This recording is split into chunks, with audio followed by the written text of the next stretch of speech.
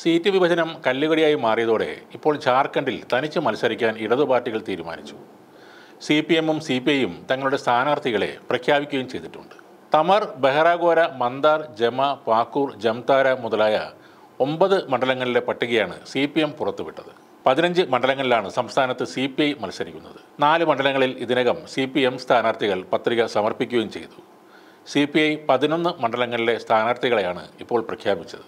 J M M Congress സഖ്യത്തിനെതിരെ അതിരൂക്ഷമായ ഭാഷയിൽ സി പി ഐ നേതൃത്വം ആഞ്ഞടിക്കുകയും ചെയ്തു. ഞങ്ങൾ ഈ സഖ്യത്തിന്റെ ഭാഗമായിരുന്നു.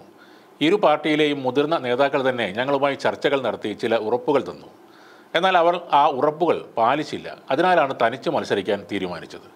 ഇതാണ് സി പി ഐ സംസ്ഥാന സെക്രട്ടറി മഹേന്ദ്ര പഥക് പറഞ്ഞത്. ജെ എം എം സർക്കാർ കഴിഞ്ഞ അഞ്ച് വർഷമായി യുവാക്കളെ വഞ്ചിച്ചുവെന്നും മഹേന്ദ്ര പഥക് പറയുന്നുണ്ട്. അതിനിടെ ഇന്ത്യ സഖ്യത്തിന്റെ ഭാഗമായി മത്സരിക്കാൻ ആർ ജെ ഡിയിൽ തീരുമാനമായി.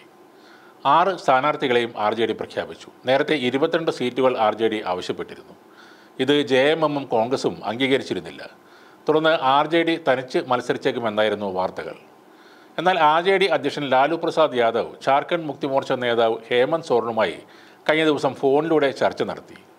തേജസ്വി യാദവും ഹേമന്ത് സോറനും തമ്മിലും സംസാരിച്ചിരുന്നു. ഇതിന് പിന്നാലെയാണ് അതൃപ്തികൾ ചർച്ച ചെയ്ത് പരിഹരിച്ചതെന്നാണ് സൂചന. അതോടെ ഇന്ത്യ സഖ്യത്തിലെ സീറ്റ് വിഭജനം പൂർത്തിയായി. ജെ എം എം നാൽപ്പത്തൊന്ന് സീറ്റുകളിലും കോൺഗ്രസ് മുപ്പത് സീറ്റുകളിലും മത്സരിക്കും. നാല് സീറ്റുകൾ C P I M L എന് നൽകി. കഴിഞ്ഞ നിയമസഭാ തെരഞ്ഞെടുപ്പിൽ നാൽപ്പത്തി മൂന്ന് മണ്ഡലങ്ങളിലാണ് ജെ എം എം മത്സരിച്ചത്. ഇതിൽ മുപ്പതെണ്ണം അവർ വിജയിച്ചു. മുപ്പത്തൊന്നിടത്ത് മത്സരിച്ച കോൺഗ്രസ് പതിനാറ് മണ്ഡലങ്ങളിലും ആറിടത്ത് മത്സരിച്ച ആർ ജെ ഡി ഒരു സീറ്റിലുമാണ് വിജയിച്ചത്. പല സംസ്ഥാനങ്ങളിലും കോൺഗ്രസിന്റെ പിടിവാശിയും പക്വതയില്ലായ്മയും ബി ജെ പിക്ക് വളമായി മാറുകയാണ്. അത് മനസ്സിലാക്കാൻ അവരുടെ നേതാക്കൾക്ക് കഴിയുന്നുമില്ല. ഹരിയാനയിലെ പാഠം ഉൾക്കൊണ്ട് പ്രവർത്തിച്ചില്ലെങ്കിൽ കോൺഗ്രസിനെ കാത്തിരിക്കുന്നത് വലിയൊരു ദുരന്തം തന്നെയാകും.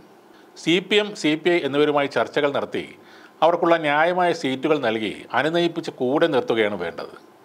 പല മണ്ഡലത്തിലും അവരുടെ വോട്ടുകൾ കോൺഗ്രസിന് നിർണായകമായി മാറാൻ സാധ്യതയുണ്ട്. ഇന്ത്യ സഖ്യം എന്നതിന്റെ അർത്ഥം പൂർണമായും മറന്ന പോലെയാണ് കോൺഗ്രസ് പല സംസ്ഥാനങ്ങളിലും പ്രവർത്തിക്കുന്നത്. അതേപോലെ തന്നെ ഇന്ത്യ മുന്നണിയിലെ ആം ആദ്മി പാർട്ടിയെയും അനുനയിപ്പിച്ച് കൂടെ നിർത്താൻ കോൺഗ്രസിന് കഴിയുന്നില്ല. അതിന്റെയൊക്കെ ഗുണം കിട്ടുന്നത് ബി ജെ പിക്ക് മാത്രമാണ്. അരവിന്ദ് കെജ്രിവാളിന്റെയും ആം ആദ്മി പാർട്ടിയുടെയും പല ഇലക്ഷനുകളിലെയും നിലപാടുകളും സംശയാസ്പദമാണ്. പല സംസ്ഥാനങ്ങളിലും അവർ ഒറ്റയ്ക്ക് മത്സരിച്ച് പരാജയപ്പെടുന്നത് കാണുമ്പോൾ പലരും ആരോപിക്കുന്നത് പോലെ ബി ജെ പിയുടെ ബി ടീമാണോ ആം ആദ്മി എന്ന സംശയം കൂടുതൽ ബലപ്പെടുകയാണ്.